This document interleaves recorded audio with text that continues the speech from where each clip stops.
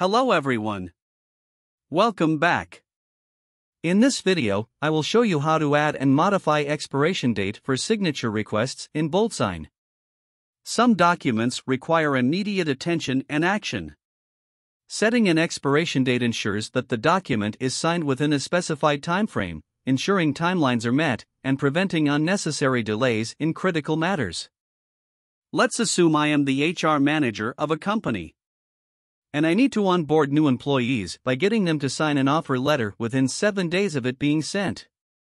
Once the seven day period elapses, the signature request should become invalid.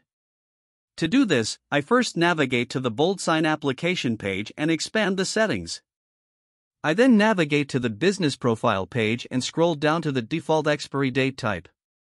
On clicking the dropdown, it displays options such as days, hours, and a specific date and time. Depending on your requirement, you can change this. For my scenario, I am setting the default expiry date type to days and changing the default expiration duration to 7 days.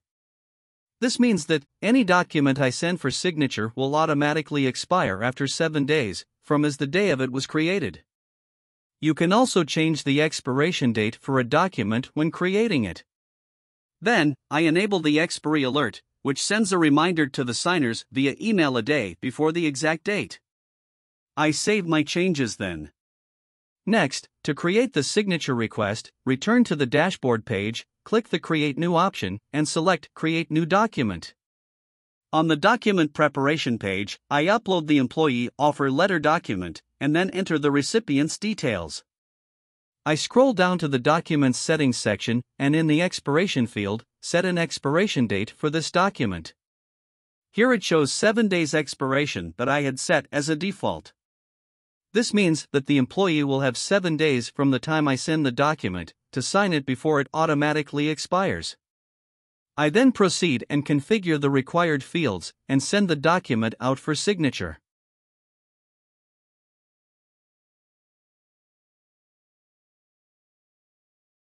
Let's switch to the signer's side and see the signature request email. In this email, you will find the expiration date mentioned. The employee has not signed the offer letter even after six days. However, he reached out to me and explained that he needs additional time to accept this offer. So, I locate the offer letter on my Documents page and click to display the overview page.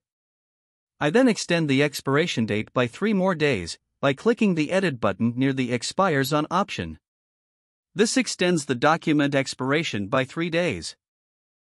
Also, note that the expiration date can only be increased but cannot be decreased after the document is sent out. If the document expires, the signer will receive an expiration email and it cannot be signed. The date cannot be changed once the signature request has expired. That's all about setting the expiration date for signature requests. If you found this video useful, don't forget to hit the like button and subscribe. Thank you for watching and stay tuned to our channel for more BoldSign tutorial videos.